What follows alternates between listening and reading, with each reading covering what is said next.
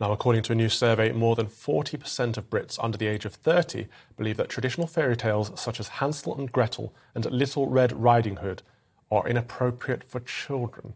As many as 90% of those surveyed said that fairy tales were too old fashioned and to be read as bedtime stories, and 89% said they perpetuated gender stereotypes. Hansel and Gretel, in which two children roast a cannibalistic witch to death in her own oven, was deemed the most inappropriate amongst members of Generation Z. Ugh, with 46% saying it was an inappropriate bedtime story.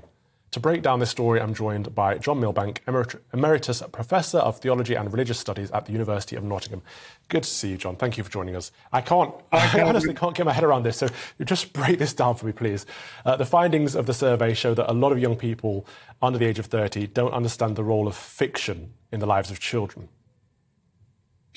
I think it's incredibly disturbing. It suggests that people are totally alienated from their own culture.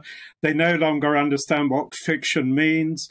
And above all, they no longer understand children because children don't discover danger from stories. Children already know about danger. Children already have to overcome fears. And children love role playing and extending their imagination. It's part of their practicing for adulthood. It's part of their wondering uh, about what values are.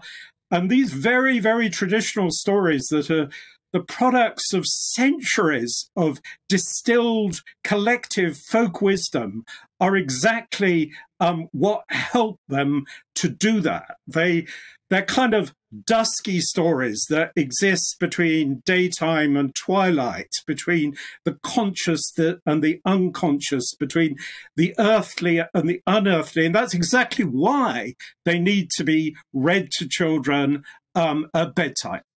Absolutely. Fairy tales are meant to be adopted and passed down to the next generation. That's the purpose of tradition, isn't it? But is the problem here not that Generation Z do not respect or understand the importance of tradition?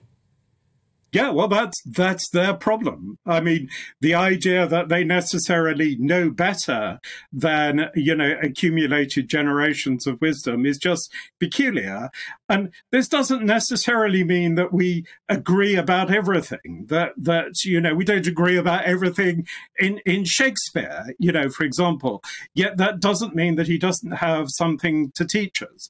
And sometimes it's the very otherness of these stories that that matter. And I think it's significant that children are really more at home in a world of kings and queens and fairies and princesses than they are in the modern world because there is a sense in which children have to repeat the childhood of the human race, if you like. So they first of all understand symbols and metaphors before they understand um, ab abstract concepts.